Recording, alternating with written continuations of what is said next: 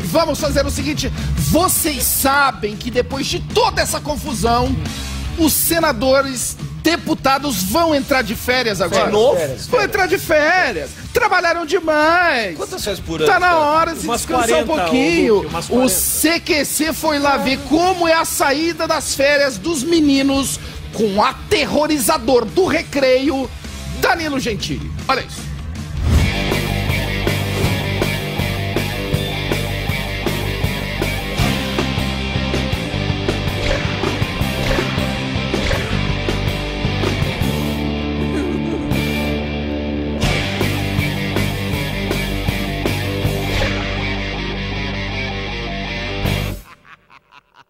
Futebol, carnaval e escândalo na política. O Brasil sempre foi campeão em dar show com esses temas. É indignante. E às vésperas do Congresso Federal fechar para recesso, viemos aqui cobrar uma posição.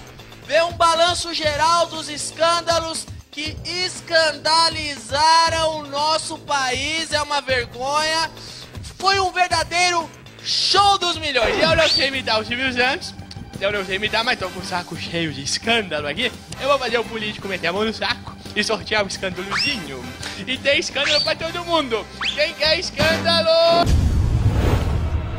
O Congresso está prestes a sair de recesso e o CQC veio aqui fazer um balanço geral do semestre. Então, a gente queria que o senhor falasse sobre isso, mas não sobre todos, porque são muitos, não é? Então, é, sorteia aí com qual, qual o senhor vai falar com a gente. Vamos lá. Vamos ver o que foi. O assunto escolhido, eu não sei imitar o Silvio Santos, foi Atos Secretos do Senado. Segundo o jornal Folha de São Paulo, o ex-diretor-geral do Senado, HCL Maia, administrava contas secretas no valor de 160 milhões de reais. A fiscalização desses milhões ficava a cargo de uma comissão com servidores que não faziam mais parte do Senado e por um funcionário morto. Como tudo isso aconteceu debaixo dos narizes dos senadores, como o senhor, por exemplo? Alternativa A. 160 milhões que entram, que saem, nem fazem tanta diferença assim. Alternativa B, adotaram o exemplo de um dos fiscais e se fizeram de morto. Alternativa C, o senhor não sabe de nada, como o presidente Lula. Ou alternativa D, é assim mesmo, vai acabar em pizza. Vamos lá.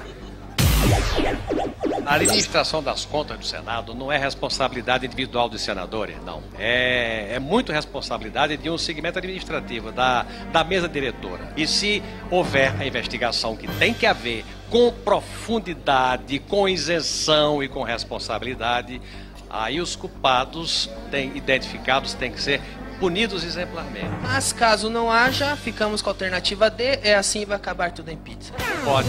O deputado Sérgio Moraes disse que estava pouco se lixando para a opinião pública, mas depois de me chamar de viado, foi posto contra a parede pelo movimento gay. O deputado deu ré em sua decisão e se aliou oficialmente ao movimento LGBT. Na sua opinião, ele fez isso porque A.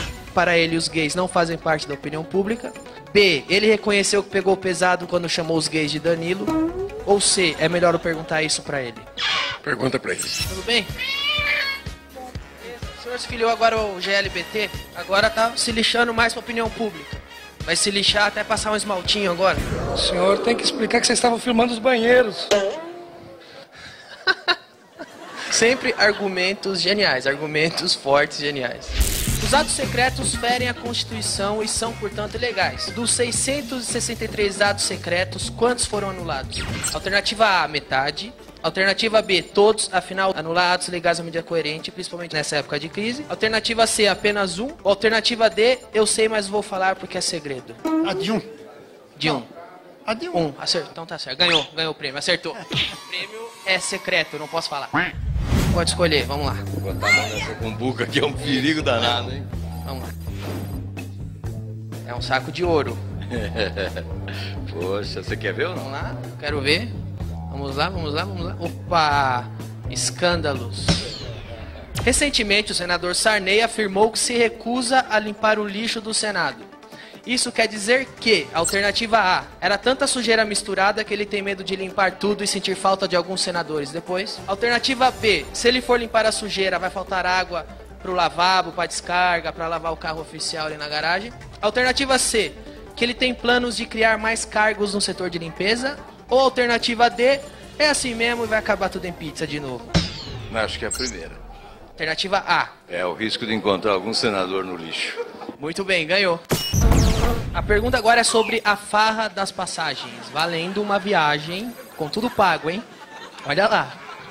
Tasso Gereissati, no episódio conhecido como Farra das Passagens, disse que nunca pegou uma passagem dada pelo Senado Federal. Por quê? Alternativa A.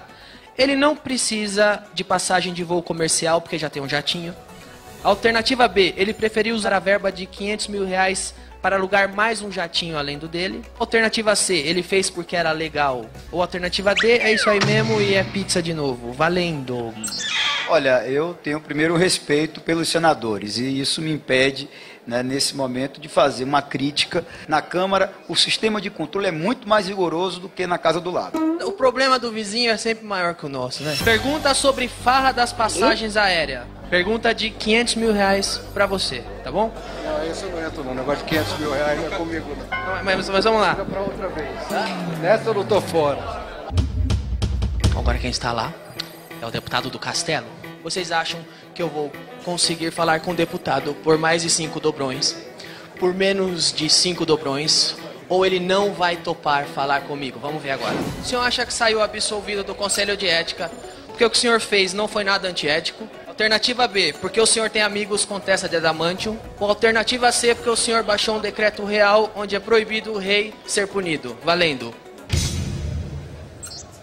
Não vai responder? Pé, perdeu, não topou.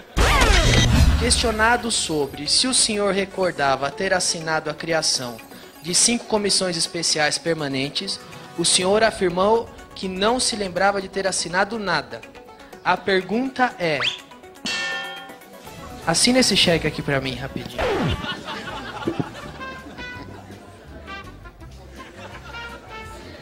Eu acho que esse cheque eu posso assinar. Esse Pode, seu, esse né? tá em branco.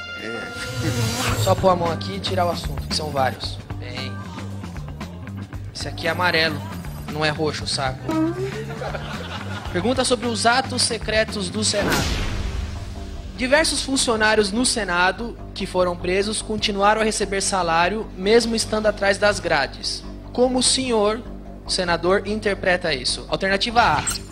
Não vou falar porque é antiético tratar de colegas. Alternativa B.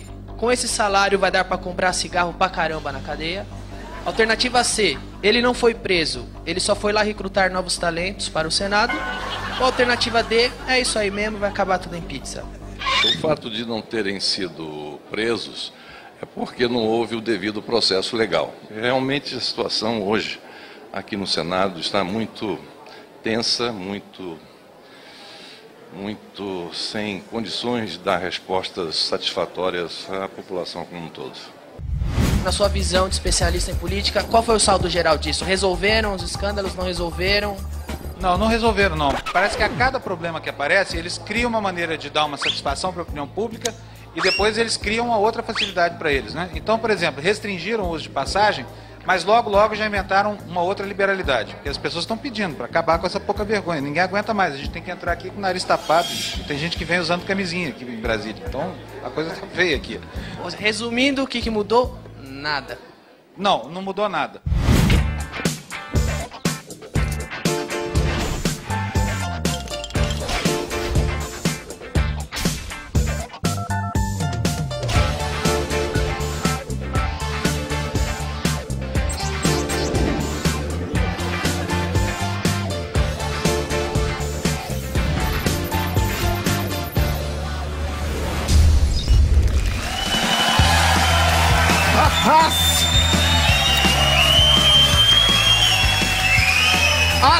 Situação tá tensa quando o Collor fala isso, meu amigo. Ah. Quando o Fernando Collor fala que não consegue dar resposta, é porque a coisa tá difícil mesmo. Agora, depois de tudo isso, depois dessa maravilha que foi o primeiro semestre, gente, eles saem de férias agora na sexta-feira. Não, e, tinha- e tinha- E não vão poder viajar com as passagens dessa vez, Não as vão passagens. Eles vão pra de onde graça. agora, gente? Coitadinho. O que eles vão fazer? Ah, eu Ah, não sei não, como e- que vai ser. E sabe uma coisa que eu vi? Tem funcionário morto recebendo no Senado, gente. O que, que é Tem. isso? Além de Tem. funcionário fantasma, tem funcionário zumbi agora. Tem funcionário zumbi.